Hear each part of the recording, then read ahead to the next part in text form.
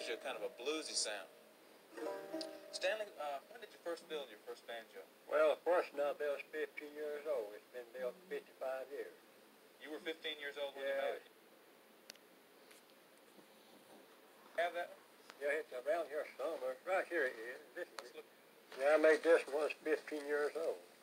And uh, Dad sort of showed me, you know, helped me a little bit. Showed you how to build it. Yeah, yeah, that's the first one I ever built.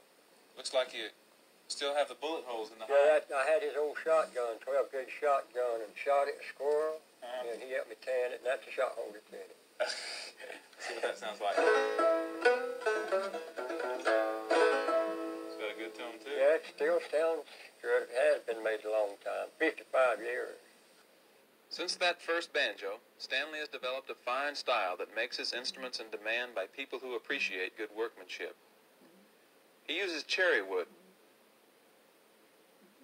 or sometimes curly maple when he can get it, but his favorite wood is walnut, which has to cure four or five years before it can be used.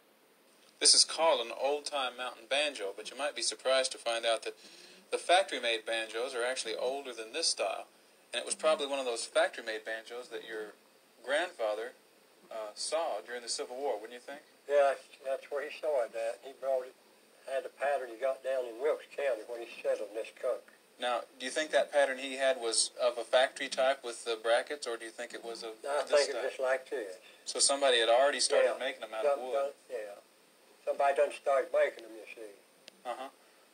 Well, you've been making them in your family ever since. I mean, people in your family have. Let's see how they're put together. Well, what do you uh, start with? this is uh, what we call the hoof. That's the middle piece there. Right That's just a piece of Yeah. walnut cut Yeah. round. And then pieces on the top, like this.